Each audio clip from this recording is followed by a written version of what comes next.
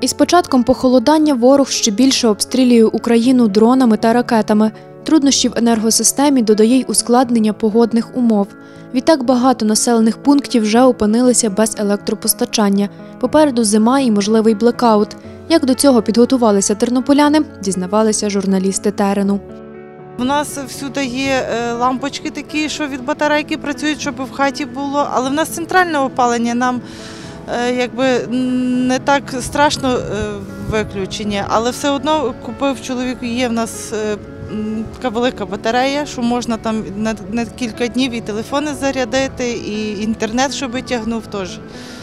Тобто ми готові. Я купила е, фонарики на сонячних батареях і також купила е, павербанки, щоб телефони були заряджені. І все. Ну, як будуть підключати 2-3 години, відповідно заряджаю все е, павербанки. Ну, якщо є можливість, то фонарики на, ну, на сонце виставляю і все.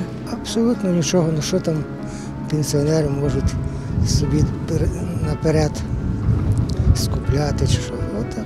Кожен рік якісь є такі передбачення, що щось буде. Мені здається, що це щоб люди більше хвилювалися, більше щось скупляли, щось ходили, за чимось гонилися. Ми минулого року купили гірлянди на батарейках, за- запаслись батарейками, запаслись свічками, але надіємося, що не буде відключень. запаслася такими батарейками, що в туалет як ходити, чи ну такими невеличкими. І, і купила такий великий ліхтарик на, на зарядку, що, що декілька годин.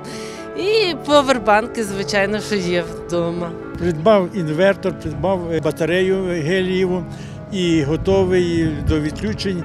Е, Якщо потрібно надовше опалення, є камін, який можна опалити будинок. Ну, частково не весь.